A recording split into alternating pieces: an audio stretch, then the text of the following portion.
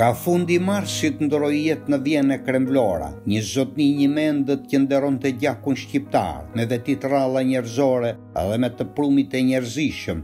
Mënyrnat e lëmueta që e dallojshin nuk ishin vetëm trajta sipërfaqshme, por edhe shfaqje të një fisnikrie të shpirtit, fryt i një mirërritjeje bujare.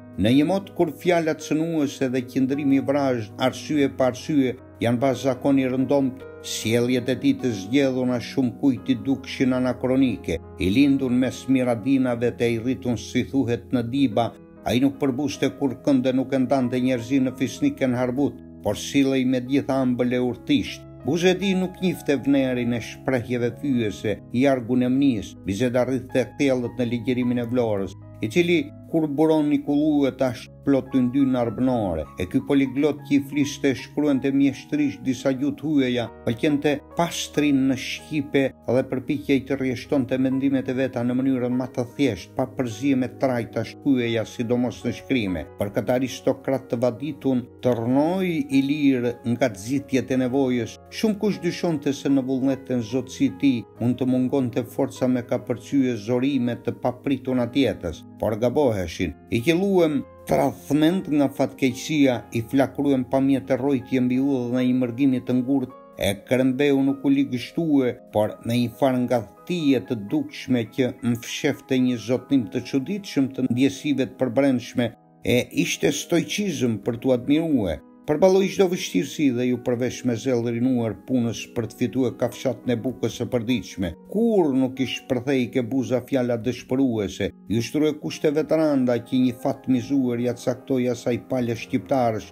e cila nuk desh ta shtrijë qafën nën zgjedhë të tyranisë së kuqe. Punoi pa ankim. Mund me një farë gaztorie si me pas gjetë në mund të paparapamun një rang argëtues e një ndryshim majahosh prej jetës hapa plot e ngisë që ish mësue ta bante më përpara.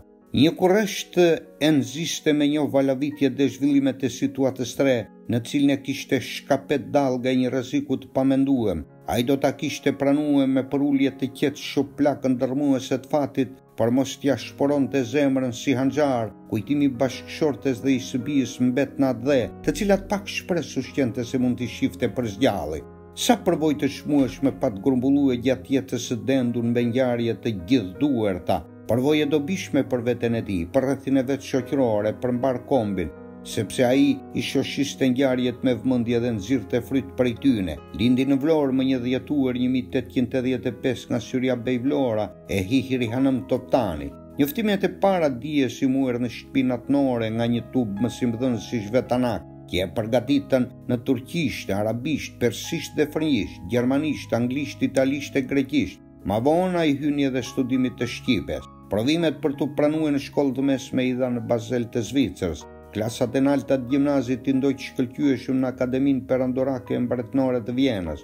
në shoqni me pinjollët e aristokracisë ma t'naltë austro-hungareze, u specializua në çashtje ballkanike gjithnjë në Vjenë në universitet. Rreth viteve një mijë e nëntëqind e pesë, një mijë e nëntëqind e gjashtë fitoi doktoraturën në Fakultetin Ligjuar të Stambollit edhe u pranue në Ministrinë e Punëve t'Jashtme Otomane si atashe.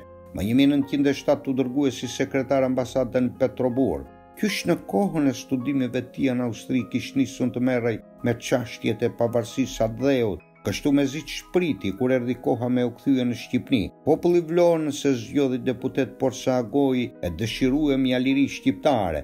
Më një mijë e nëntëqind e trembëdhjetë e shofim senator në Vlorë e nënkryetar të senatit. Në periudhën e pështjelluem me plot shkëndija patriotike e hove atdhedashunie, qi merr emën nga Vidi mbret, por i pafat, Ekrem Vlora veproi si sekretar i përgjithshëm i ministrisë jashtme të shtetit shqiptar porsa të lindur. Gjatë Luftës së Parë Botnore, italianët e internuan si austrofil në vitin një mijë nëntëqind e gjashtëmbëdhjetë, nëntëmbëdhjetë, më një mijë nëntëqind e njëzet e dy e gjejmë kryetar bashkie në Vlonë, më një mijë nëntëqind e njëzet e tre deputet, më një mijë nëntëqind e njëzet e pesë senator e mandej përfaqësues i Shqipnisë në Londër, e më vonë në vitin tridhjetë në Athinë. Më një mijë e nëntëqind e tridhjetë e tre kthen në Tiranë i ngarkuem me ofiqin e naltë të Sekretarit Përgjithshëm të Ministrisë së Punëve të Jashtme. Më një mijë e nëntëqind e tridhjetë e shtatë prapë përfaqëson Vlorën n'parlamentin shqiptar. Më një mijë e nëntëqind e dyzet e dy emënohet ministër i Tokave të Lirueme. Në gjitha zyrat në të cilat u përshkrue, ai spikati për matuni fjale e veprimi, për urti iniciativash frymëzue nga një përgatitje serioze kulturore, për ndershmëri e mirësjellje.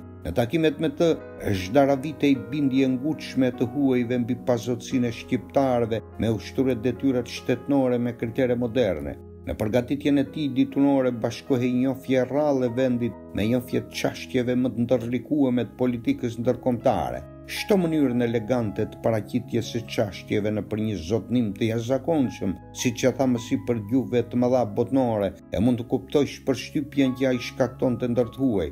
Në hulumtimet historike për të cilat kishte prirje, Zotnimi i gjuhëve lindore e perëndimore i shërbente me depërtue pa vështirësi nëpër krahasime të dokumentave në themel të ngjarjeve, Botoi në gjuhë gjermanisht dy vepra që gjetën miratim ndër qarqet ditunore të huaja. Vëllimin e parë e kish dorëzue, vdekja nuk e lejoi të kryejë pjesën e fundit të vëllimit tjetër. Pesë muaj para se mordja e pashpirt të na e rrëmbente, më tregoi disa rrethana në lidhje me shpalljen e pavarësisë shqiptare në Vlorë, Siç dihet, flamuri i Skënderbeut valoi në erë të lirisë mbas pesë shekujsh errësie nga një ballkon i shtëpisë së Vlorajvet. Lajmet që ai më dha mbi flamurin e përdorur në atë rast, besoj se asht mirë të njifen. Ekrem beu në një mijë e nëntëqind e një ishte pjek në Vjenë me Don Aladro Kastriotin. Ekrem Vlorën e takova rishtazi mas dhjetë vjetëve në Paris. Më priti në banesën e vet. Aty pata rastin të admiroja bibliotekën e tij shumë të pasur me libra albanologjie. Në mënyrë të veçantë më habiti një koleksion jashtëzakonisht i begatshëm fytyrimesh riprodhue nga vizatime mbi viset e mbi banorët e Shqipnisë. Në asnjë vend të botës nuk kam parë një përmbledhje aq të pasur. Ekrem beu flite mbi këto gjana me njohje të plotë sepse ishte një merakli i madh koleksionesh, librash, armësh, veprash artistike. Një mbramje gjithnjë më një mijë e nëntëqind e dhjetë, Pretendenti i thronit të Skanderbeut, Don Aladro Kastrioti e fton Ekrem beun në një darkë ku u gjetën pranë ma se tridhjetë vetë të aristokracisë ndërkombëtare.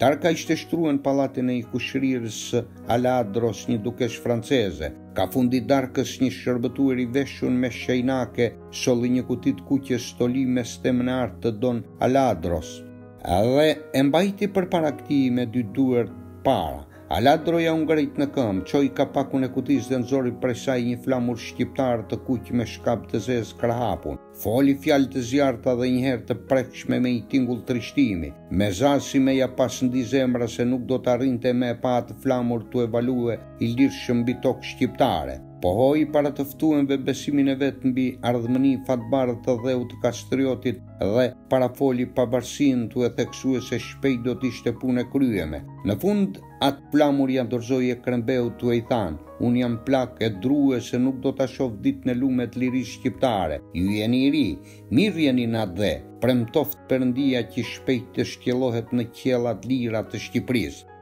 Faleminderit.